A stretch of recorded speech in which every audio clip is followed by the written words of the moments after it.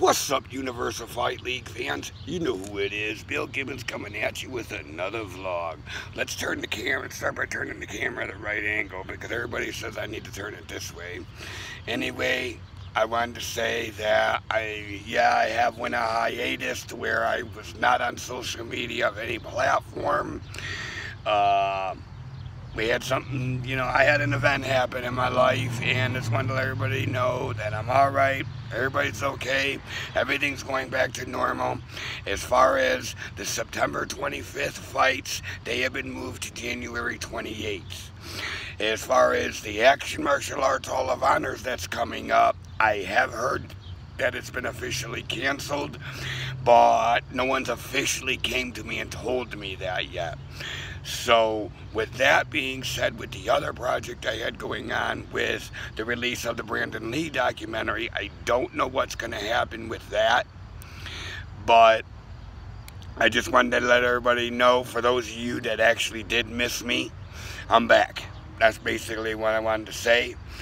And I'm looking for fighters, men and women and if you wish to fight for me and come to be in one of my upcoming events and competitions or my upcoming festivals, you know, you guys can text me at 586 533 1875.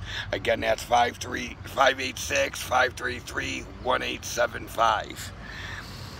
I don't know what's going to happen right now. Again, like I said, I'm kind of back to the drawing. Well, I'm not back to the drawing board because I do have a lot of events that, that are supposed to happen and that are going to happen. But this coronavirus just killed everything. So that's what's been happening. Because if it wouldn't have been for that, everything that I had planned would have happened.